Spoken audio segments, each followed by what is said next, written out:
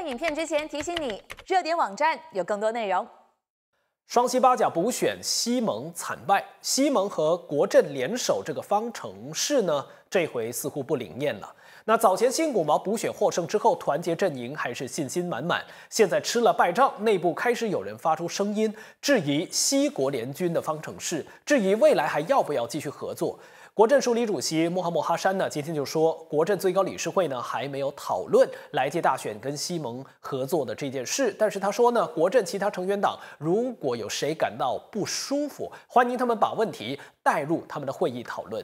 那莫哈山说，目前他们还没有召开会议，所以会有很多假设性的问题存在。但他相信国政主席阿莫扎西会把课题带入会议中商量。莫哈山也呼吁马华和国大党对于来届大选的合作有什么意见的话，可以共同商量，大家就早点提出讨论，免得互相之间产生猜疑或是受到困扰。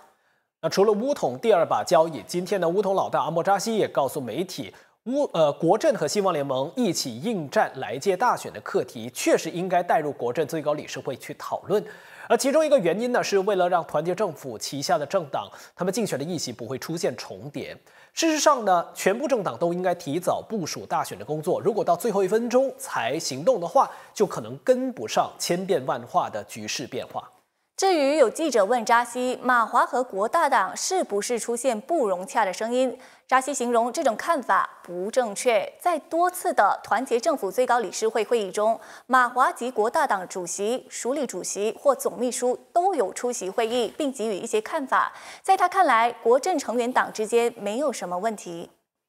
那扎西呢？今天在霹雳江沙区部代表大会致辞的时候，就再次提醒党员，政治里没有永远的敌人。大家就一起跟西蒙合作下去吧，因为他说乌统啊，必须要认清一个现实，他们在第十五届大选惨败，而现在的乌统也没有什么东西值得骄傲了。而乌统要学会感恩。扎西说要记得上一届大选，当时候赢得更多议席的西蒙是主动的向乌统献意，一起来组团结政府，还愿意让出大臣和多个重要的职位给乌统。那这是扎西的说法。再来看到过去两天，各界都在高度讨论西国联军在双西八甲补选惨败的情况。新州有篇分析报道提出这样的概念说。国盟是以乡区包围城市的打法攻下双溪八甲州席，具体来说就是国盟一党以乡区的支持率围攻西盟在城市的投票区，同时因为华人和印度人有很多没有出来投票，加上马来选票也没有真的回流西盟，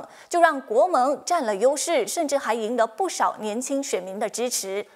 那针对华人不出来投票，印度人的投票率低，分析员呢不约而同的认为啊，这是选民给团结政府发出的信号。政治学者黄进发就说了，华裔选民是在抗议。首先，安华把非马来人的选票看成是理所当然，认为华人一定会投给西蒙，所以才会有很多华人不出门投票。另外呢，理科大学副教授阿兹米就认为啊，团结政府只是专注在争取马来选民的支持，这就让一些非马来人感觉到自己没有受到尊重。这些呢，都是分析员认为非马来人对双西八甲补选反应冷淡的各种原因。至于在补选中狂胜的国盟，今天一党团结局主任哈利马发文告说，马来人作为我国最大的族群，新的政治应该要由马来人主导。他形容国盟候选人在补选以超过四千两百张多数票狂胜，这显示了国盟不只能够获得马来选民的支持，